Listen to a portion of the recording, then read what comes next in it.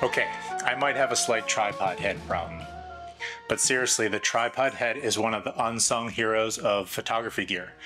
As a landscape and macro photographer, who also happens to be a gear nerd, I've learned that the right head can make or break my shots. I've tested tripod heads in the toughest conditions the Pacific Northwest offers, so you don't have to.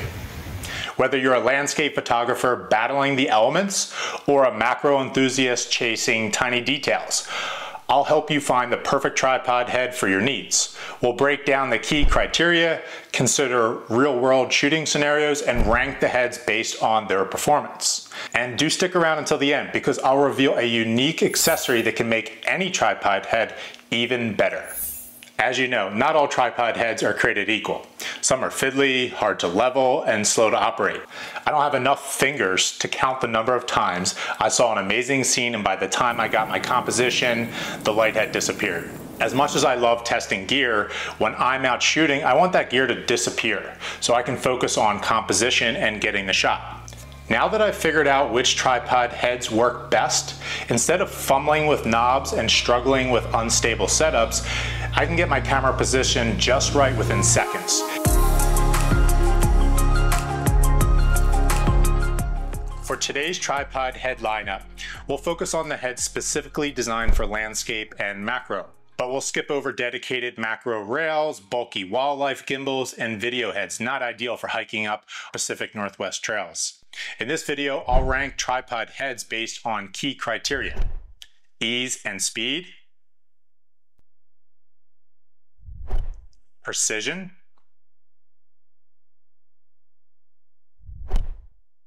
build quality, stability, Portability. Durability.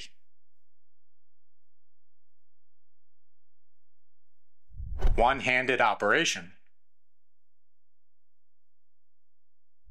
Performance for panoramas. Performance for macro photography. Build quality influences both durability and stability. A well-built head provides a more stable platform for your camera. However, even a well-built head can require maintenance to withstand harsh elements, like saltwater. And while a solid build contributes to stability, the design of the head itself plays a significant role. While price is a critical factor in any gear decision, it isn't a factor in the rankings, but we'll discuss it as we go. While more expensive models do often equal better build quality and nicer features, companies like Arca Swiss and Really Right Stuff have significant brand premiums. We'll compare models with similar features at different price points so you find the right balance of features and value for your needs. So as we walk through the heads, consider which features matter most to you. All right, let's kick things off with the OG of tripod heads, the ball head. Known for its simplicity, speed, and all direction movement, it's often the go to for beginners and pros alike. There are literally hundreds of options, so we'll keep things high level. The ball head's greatest strength, its ability to move freely in all directions, can also be a drawback. An all too common scenario is that you have the framing that you want from top to bottom but your horizon level is off. So you unlock the ball head to adjust, but when you do, you lose the top to bottom framing that you have. Now, there's still plenty of reasons to love a ball head, but is it right for you? The three ball heads we'll be looking at today are the Really Right Stuff BH30,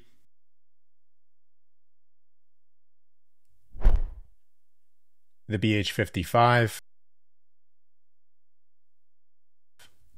and the Acratech GXP SS. Speed and ease of use are going to be pretty similar for these. The bigger the ball, the more control you're going to have.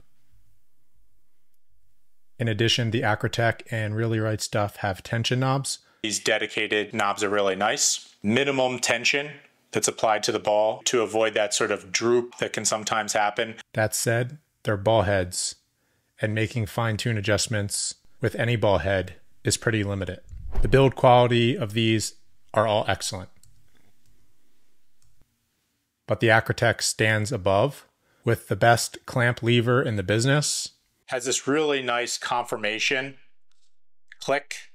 Durability of ball heads is going to be pretty high all around, but the open ball design of the Acratech GXP SS makes it durable over the long haul, even when exposed to the elements. Yes, elements can get in, but they can also be washed off really easily. If you compare that to the more standard ball that is sort of encapsulated, a lot of gunk can get stuck in there, and these are really hard to take apart. The BH30 has a 15 pound load, the 55 a 50 pound load, and the Acrotech a 35 pound load. Nothing beats the BH30 for portability. It's very small and light. The 55 is two pounds and the Acratech is very good considering its strength to weight ratio. When it comes to panos, being able to level above the ball is important. And none of these have that functionality built in, but the Acratech does have the ability to flip over. By flipping the clamp, we now have our panning above the ball which is much better for panoramas. With macro, making fine tune adjustments is critical, and ball heads lack that ability.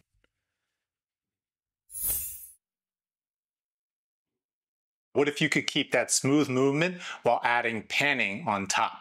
Let's flip things upside down and explore the world of inverted ball heads. The inverted ball head we'll be reviewing is the Arca Swiss Monoball P0. Just like the other ball heads, it's quick and easy to use. Some people feel this upside down orientation gives them more control, and I tend to agree. While the precision is slightly better than the other ball heads, you still can't make fine tuned controls. The build quality, like most Arca Swiss products, is good. Similar to the other ball heads, the durability will be good as well. Load capacity is 44 pounds, which is pretty great considering the size and weight. If you consider that this thing is just a little bit bigger than the BH30, it has almost three times the load capacity. And the lack of a large knob means that it has excellent portability. The lack of a knob to loosen the ball in favor of a ring gives this ball head better performance when using it one handed. One of the standout features of this head is the fact that the panning clamp is above the ball. So it's better than the other ball heads when it comes to panos. Just like the other ball heads, it's average for macro.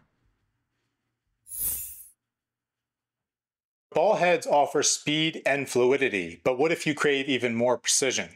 Get ready to dive into the world of geared heads, where precision is the name of the game.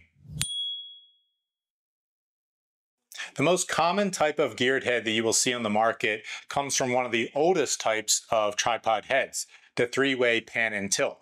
They have since become mostly relics because they lack the precision of these newer geared versions. Geared heads may not be as smooth as ball heads, but they do offer a level of amazing control that some photographers prefer.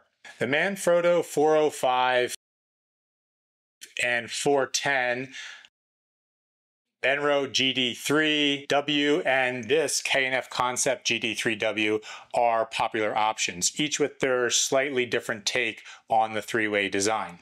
When I was getting into real estate photography, I picked up the Manfrotto 405, but it is obnoxiously large and heavy. Manfrotto then created the smaller 410, which seemed better for landscape photographers, but it wasn't Arca Swiss compatible and it also suffers from serious durability issues. I owned two of them and they both broke. These newer entries like the Benro and the K&F don't seem to suffer from those same durability issues. We'll review the K&F Concept 3-Way. This is very similar to the Benro and an update to the Manfrotto 410. One of the big advantages of these types of heads is you don't have to worry about the flop like you do with ball heads because the gears are always engaged. Speed and ease of use of gear heads in general is going to be a little bit lower than ball heads. The open movements of some geared heads, like this one, do allow you to acquire a general composition fairly quick. Landing down in a location, putting your tripod down, and then I would immediately orient towards my subject and then open these up to get generally in the area and then use the fine tuning to uh, refine the composition. But still, compared to a ball head, it's slower to use. Precision of all geared heads is going to be good to excellent, and the tolerance of this geared head is very good. What's really nice is all of the markings indicating the degree of rotation in any given plane. And one of the things I love most about these types of geared heads is the ability to make larger, more open movements. So by holding the orange and twisting it, we can then turn it here. We're sort of disengaging the gears. The build quality of this surprised me. After starting with the Manfrotto 410, I sort of expected this to be cheaply made, especially for the price point. The machining and materials feel high quality so the build quality is actually pretty good. Durability of all geared heads will depend highly on the elements that it's exposed to.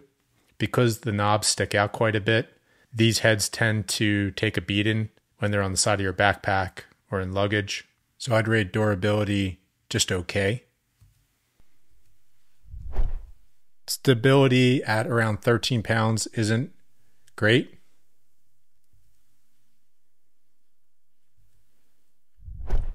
Now, while it's not the heaviest head, it isn't the lightest either.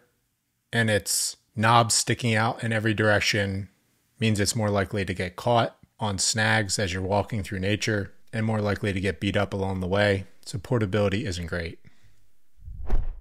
Assuming you have this head positioned with the gears facing you, using it one handed with your other hand on the camera is a pleasure. There's no panning clamp on top. For dedicated pano shooters, I'd recommend something else. Macro is great on this. The range of motion on this is surprisingly good.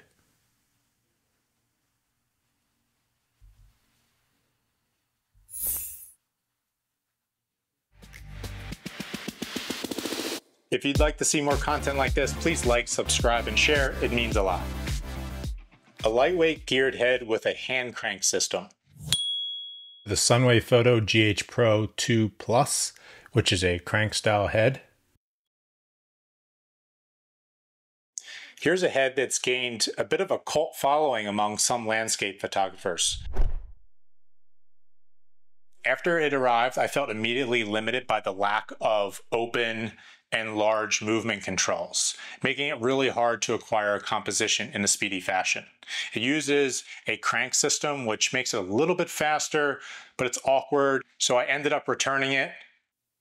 Because there's no open movements, only geared ones, speed is just average. Like all geared heads, precision is excellent.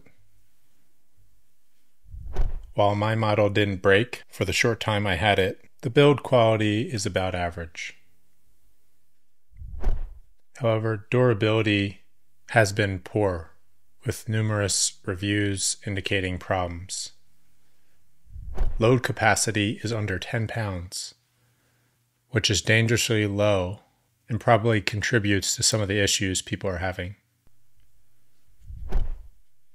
Now, this is actually one of the lightest geared heads with that said, it's still over one and a half pounds, so I'd rate it as average. There are no open movements, only geared and crank movements, which move the gears a little bit faster. So it is fun to use one handed. The Plus version added a geared panning clamp on the top, which is something lacking in the three way heads that we saw earlier, which makes it better for panos. And while it can't get into extreme angles like some of the other heads, due to the knobs hitting into one another, I still found it good for macro.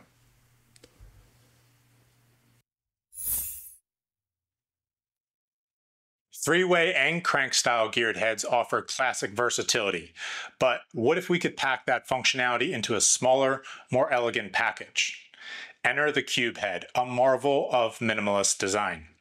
The Arca Swiss Cube, the most expensive head on our list. Because of the sizable financial investment, I haven't added one to my toolkit, but I did have a decent play around with one at the store and got to try out all of its features. Speed and ease of use is higher than normal because you can access the controls from any side. Once you get used to it, it's quick to set up, considering it's a geared head. The cube style geared head is known for its unparalleled precision, especially favored by architectural photographers. Precision is phenomenal.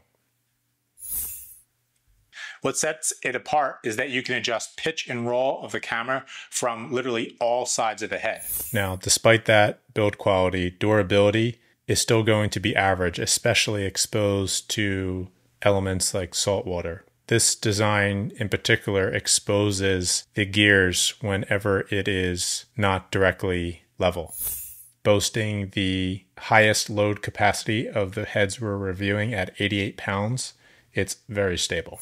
But with that stability means that it's not that portable at almost two and a half pounds. This head is exceptionally good one handed, especially because you can use it from any side. It has a panning clamp on top, which makes it great for panos, and it's pretty good for macro too.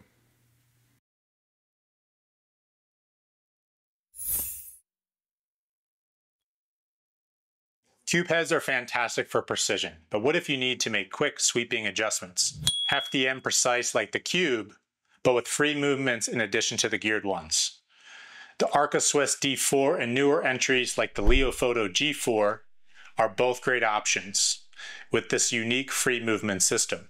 When I was shooting real estate, I picked up the D4 and ended up using it quite a bit for landscapes too.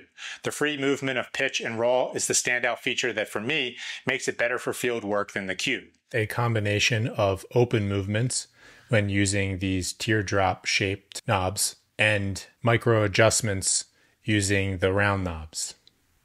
In this version, there's both a pan below and above. The one above is also geared.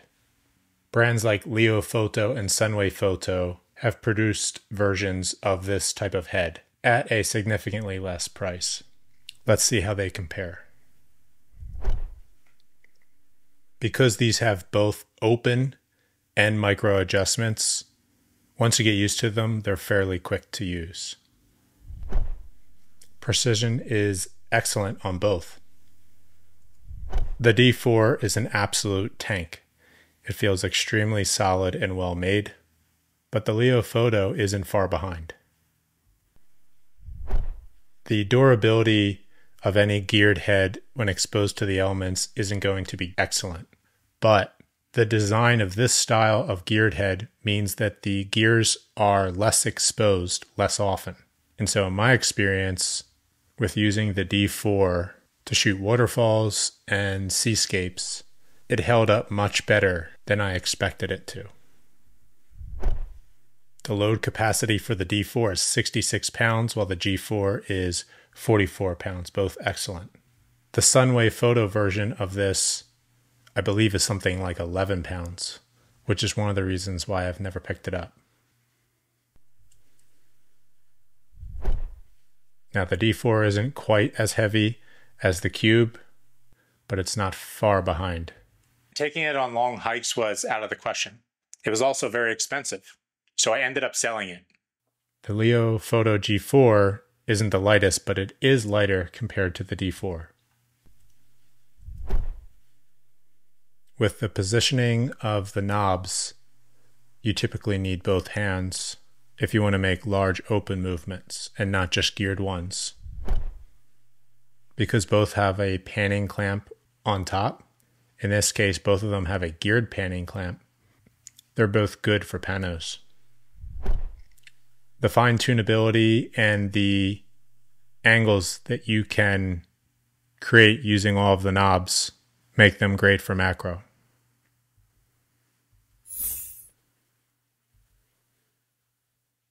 Geared heads are known for their precision, but maybe you love the fluidity of a ball head too. Can you have both? This is where things get interesting. A hybrid head. On to the Arca Swiss P0 Hybrid, a combination of an inverted ball plus gears. That combination pays off when it comes to the ability to acquire a composition in a quick fashion. And like all geared heads, it's very precise. It combines the fluidity of a ball head, in this case, an inverted ball head, with the precision of geared movements. You can use the ball to get in the ballpark of your composition, tighten that down, and then adjust and fine tune using these knobs here. The build quality is very good. Maybe not as good as the Cube and D4, but it's not far behind. Now, durability is limited by the design itself, not the build quality, and the gears are exposed to the elements, especially when not level. This can lead to rusting out of the gears, as I've experienced firsthand. After having purchased the P0 hybrid and taking it down to the beach, the internal mechanics were exposed to quite a bit of sea spray, and you cannot take this thing apart easily. So I ended up needing to send it out because all of the movements became stiff and it was a couple hundred dollar mistake. So now I don't take geared heads that I'm not willing to ruin down to the shore. Load capacity is rated at 44 pounds, which is very good. Now, this is actually the lightest geared head on the list at 1.3 pounds, and the width is fairly narrow, but it is tall and still heavier than ball heads. This is my favorite tripod head to use one handed. The combination of the ring for the ball plus the gears mean that it's quick and easy to use even one handed. The inverted ball with the panning on top means that it's great for panos. And like most geared heads, it's good for macro. You can't get to the same level of tilt as you can with some of the other geared heads, but it's good nonetheless when you combine it with the ball. Another way to get things level might be even easier than a geared head. Let's explore leveling bases and how they can simplify your workflow. Leveling bases come in a few different forms. Some that fit right into the apex of the tripod where all the legs come together are going to be the best options. Uh, others can be put on top of the tripod base, and so that's slightly less stable, but it can still work.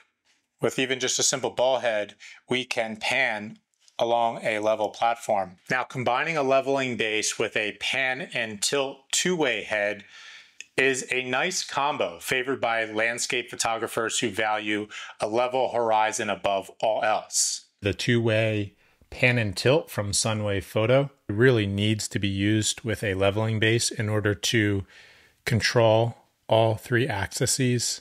Let's see if this two piece system is worth the extra complexity. Ease of use is about average. Some people like the two step process of leveling the tripod and then being able to focus on controlling the other two axes. So I'd rate it as just average. Precision on this is poor to average. In practice, I've found that leveling the tripod using a leveling base can actually take quite a bit of time.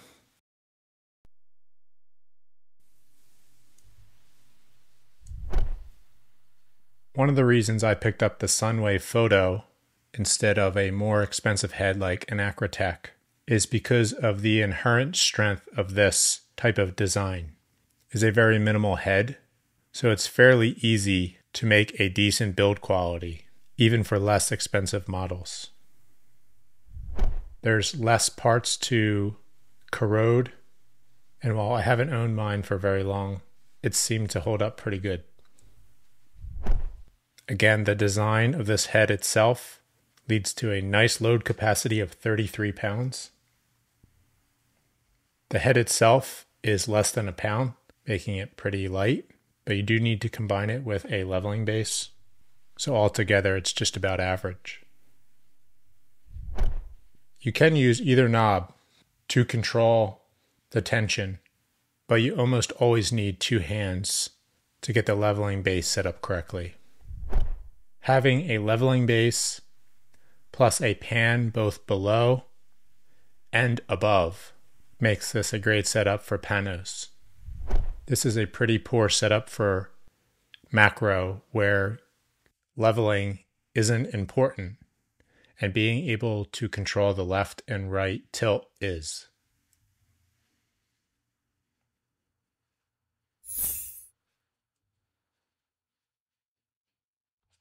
We've covered a lot of great options, but if panoramas are your passion, there's one more head you absolutely need to know about. In all fairness, this really is a specialty head. And I said I wouldn't rate specialty heads, but when I was really into panos at one point, I have tried to use this for non pano landscape photography. And if you were going on a longer hike and were mostly interested in photographing panos, and the occasional non pano, you might be wondering how this stacks up.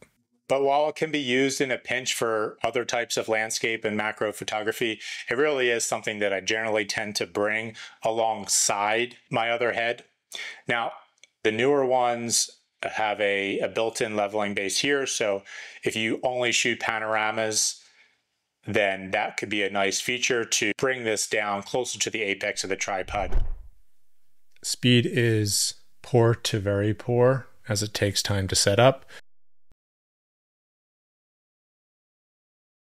Once it's set up, it's not terrible. There are angle markings on all of the knobs, but it's still pretty imprecise. The build quality is excellent. The build quality and design make for great durability.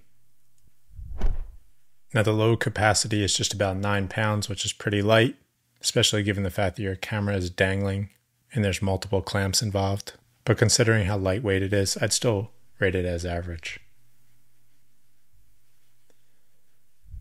It's pretty portable, although you need to collapse it down into a carry case. When it's up on your tripod, it's over seven inches tall. This is a compact head I have owned the full size pano kit from Really Right Stuff and would only recommend that if you are hiking very short distances or photographing nearby the car. But this setup is pretty light and you can take it alongside your default head. Altogether, it's 1.6 pounds, including the nodal rail, and it all packs away nicely in a case. This would not be easy to use one handed, nor would you really want, or need to. Obviously, this is meant for panos, so it's excellent for panos.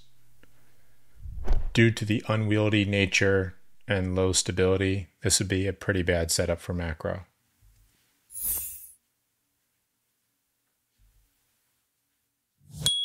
So that's it. We've made it through all of the heads, and here's the final ranking.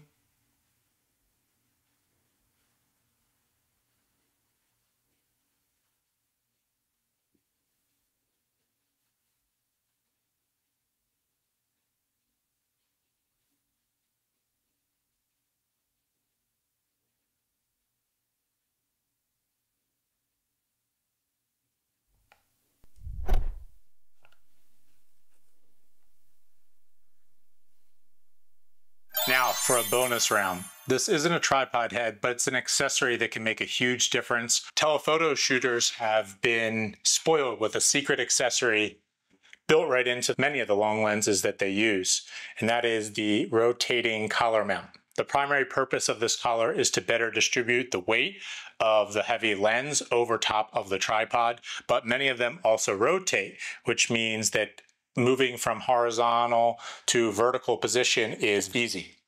And over the years, third-party rotatable lens collars like the Silence Atoll and the SmallRig and newer plates have come on the market and offer a similar way to switch orientations for the rest of your lens lineup.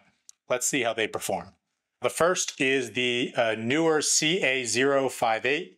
It is simple and light so let's get it on the camera and show you how it works. And switching from horizontal to vertical is as simple as that. One thing I don't like about this is that it can't be used on top of L brackets. That's where the next option comes in. This is the SmallRig rotatable lens mount. They make models for most popular cameras. It's a little bit more complex, slightly more heavy, but what I do like about this is that it goes on the bottom of your camera L bracket. And the reason why that's important for me is because I like to attach additional adapters on the sides or bottoms of my L bracket. In this case, a cotton carrier hub so that I can carry my camera on my chest. You might have a peak design clip so that you can attach it to your backpack. You simply take this piece off and with your lens disconnected, screw that on and then lock it into place. From here, it's just a matter of clicking this in. And then you want to lock that in place. Now you can reattach your lens. And I'm going to go ahead and attach my 100 to 400, which already has a rotating collar mount on it. And the reason why I'm going to do that is because one of the great features is that this works even with this lens, at least this particular lens, I can still access the native rotatability that is built into the 100 to 400. But if I swap this lens over to something like a 24 to 120, I still have that ability to rotate. The newer model that we just showed does not work. The component that attaches to the tripod head is a little bit higher and they make contact. We're in the weeds here, but the configuration will depend heavily on your lens and camera and collar that comes with that lens. With all of our tripod heads rated and ranked in general, I want to give some specific recommendations to help you choose the right head for you. All right, we've got our overall rankings, but as you know, the best tripod head is going to be totally dependent on your unique style and needs. So let's dive into some specific scenarios. First up is the general jack of all trades versatile landscape artist. You're going to want a tripod head that adapts quickly to different shooting scenarios and shooting styles. So top picks are the Arca Swiss P0 Hybrid and the Leofoto G4 Pro. Both offer excellent ability to hone in on a composition fairly quickly and refine it. And the value pick is going to be the K&F Concept three-way, which offers a lot of bang for the buck. Next up is the detail-oriented macro enthusiast who prioritizes exceptional precision and stability for macro photography, especially in challenging conditions. This person needs a tripod head that allows for very minute adjustments, works at extreme angles.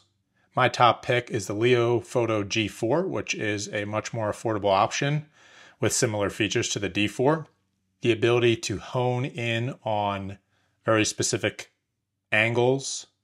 The ability to pan both below and above is also useful for macro for fine tuning the composition. And again, the K&F Concept three way is a great value at 180 or 190 dollars. It offers a lot of the same capabilities. Next up is the adventurous backpacker who prioritizes lightweight compact gear for hiking and backpacking, portability, durability from the elements, and stability at extreme angles with the tripod. All those things are going to be important. My top pick is the Arca Swiss Monoball P0, just just slightly heavier, but with the panning on top offers some additional capabilities. And if you even want to go lighter, an alternative is the Really Right Stuff BH30. And lastly, the Resilient Seascaper who prioritizes durability and resistance to harsh elements like salt water and sand above all else. They want a tripod head that's easy to clean and maintain. And so top pick is going to be the Acratech GXP SS because of its open ball design.